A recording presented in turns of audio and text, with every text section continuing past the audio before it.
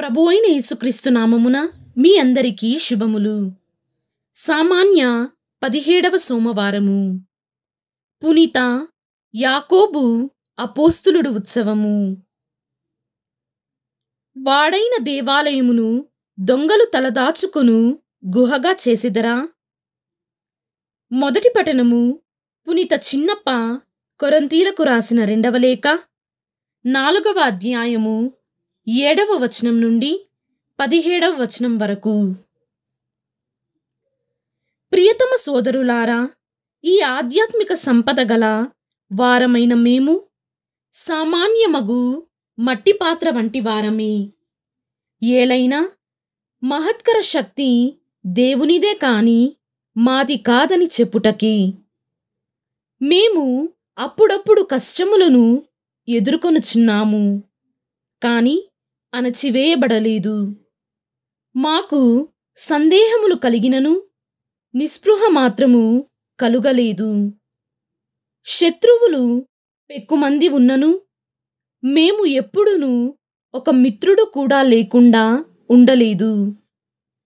తీవ్రమగు గాయములు తగిలినను మేము నశింపలేదు. సర్వదా మా భౌతిక శరీరములలో మేము యేసు మరణమును మోయుచుందుము. ఏలైనా ఆయన జీవితము కూడా మన శరీరముల ఎందే ప్రదర్శింపబడును కదా?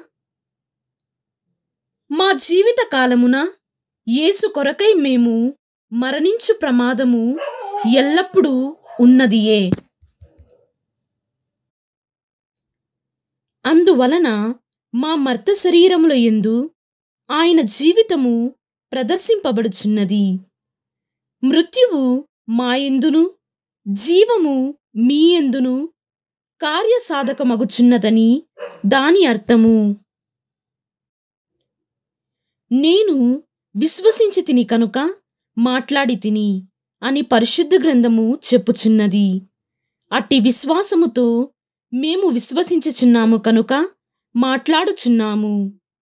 యేసు ప్రభువును మృతులలో నుండి లేపిన దేవుడు యేసుతో పాటు మమ్మును లేవనెత్తి మీతో సహా ఒక చోట చేర్చి ఆయన సమక్షమునకు తీసుకొని పోగలడని మాకు తెలియను. ఇది అంతయును మీ కొరకే. దైవ సందేశము వ్యాపించిన కొలది అధిక సంఖ్యలో ప్రజలు దేవుని మహిమకు కృతజ్ఞతాస్తోత్రములను అర్పింతురు. ఇందువలననే మేము ఎన్నడును నిరుత్సాహపడము. మేము భౌతికముగా క్షీణించుచున్నను ఆధ్యాత్మికముగా దినదినము నూతనత్వమును పొందుచున్నాము. మేము అనుభవించుచున్న ఈ తాత్కాలిక కష్టము ఆ కష్టము కంటే ఎంతయో అధికమైన నిత్య మహిమను మాకు సమకూర్చును. ఇది ప్రభుని వాకు సర్వేశ్వరునికి వందనములు.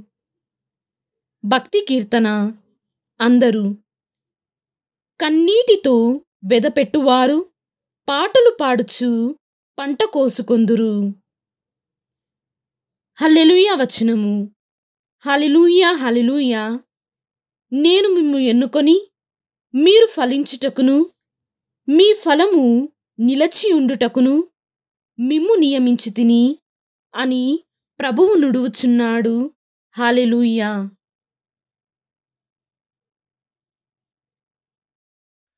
ఈనాటి సువిశేషము పునీత మత్తయ్య గారు రాసిన సువిశేషము ఇరవయవ అధ్యాయము ఇరవయవ వచనము నుండి ఇరవై ఎనిమిదవ వచనము వరకు.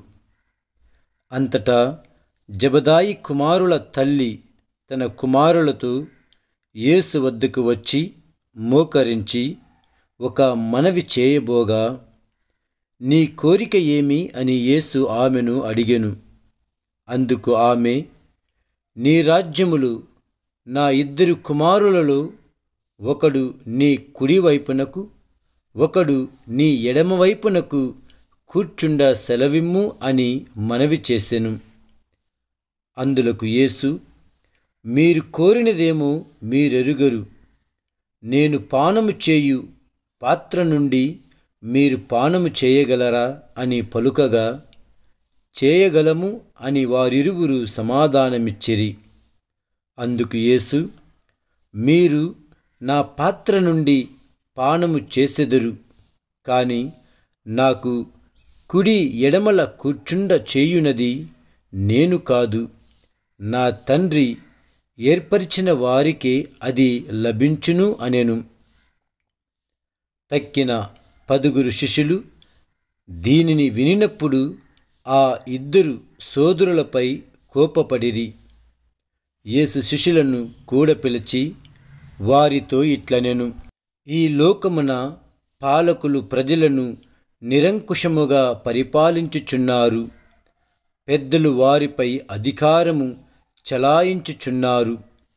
ఇది మీకు తెలియను గదా? కానీ మీరిట్లుండరాదు. మీలో ఎవడైనా గొప్పవాడు కాదలచినా అతడు మీకు సేవకుడుగా ఉండవలయును. మరియు మీలో ఎవడైనా ప్రథముడు కాదలచినా అతడు మీకు దాసుడై ఉండవలయును. అట్లే మనుషు కుమారుడు సేవించుటకే కాని సేవింపబడుటకు రాలేదు. ఆయన అనేకుల రక్షణార్థము తన ప్రాణమును దారపోయుటకు వచ్చెను. ఇది క్రీస్తు సువిశేషము. క్రీస్తువ మీకు స్థుతి కలుగునుగాక.